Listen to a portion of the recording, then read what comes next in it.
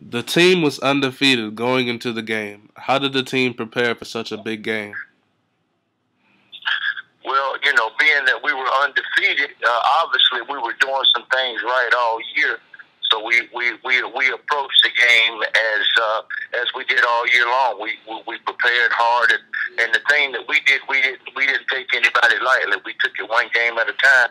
But uh, we had had success, so you know why change it? We we prepared like we did normally uh, throughout the rest of the year, you know, because we had we had had success doing that. But we, you know, as we did, we took one one took it one game at a time, and then we we prepared hard for each opponent, regardless of who it was.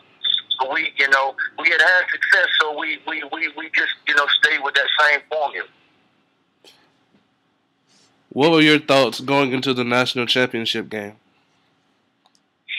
Well, I was excited. I was excited. Uh, we, you know, we were on a national stage, and and uh, this is a once in a lifetime thing. You don't ever know if you're going to get a chance to get back to this situation. So I was real excited about it, and I just hope that we were, you know, we were we were prepared to represent to represent ourselves properly. Not only ourselves, but represent the conference, the SEC, and just just Southern football. I think that you know we were going up against a, a national powerhouse in Notre Dame who had all the tradition and all the all the history. So it was it was a big challenge for us. But uh, uh, I was just looking forward to see how we how we compared to the big boys. You're backed up in your own end zone, and it's the last drive. Did you expect the last play to work?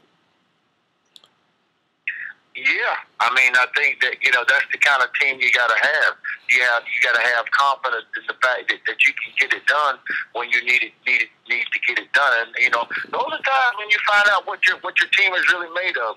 But yeah, uh, there has to be a great de- a degree of confidence there that, that you can get the job done. What did Coach Vince Dooley say to you after the game?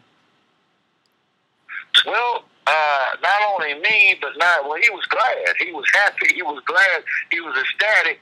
I mean, you know, but not only to me as a team, you know, it just it just teaches us lessons. You know, those those are those, those are life lessons are involved in, in sports. The fact that that even when you're down in life, even when things don't seem to be going your way, even when things seems to be out of reach, you know, you keep playing, you keep pushing, you keep you keep put, putting your best foot forward, and and those are the type of lessons that that he tried to teach us. That regardless of what situation that you're in, and and it could get discouraging at times, but keep your head up and keep fighting and, and keep giving your best effort, and and and and and, and in most cases things will work out. Oh. So, what did you think once you heard Larry Munson's call on the radio? I was ecstatic. I think that uh, I think that you know uh, the whole state of Georgia was excited. I think uh, you know nobody can do it like Larry does it, and I think he just he just he just put it in perspective. It was the fact that you know we were down. Uh, uh, you know, uh, we had to make something happen. He, he even made the statement, uh, you know, you gave up, I did too, and it was a miracle. It was a miracle. It was something that that uh, that uh, uh, that rarely happens, you know, especially in that in that series. But like I said, we we you know we hung in there, and and and and after I heard that call, it was just I guess it just put it all in perspective. Well, that's all I have. Thank you for your time, sir. Thank you. Thank you very much.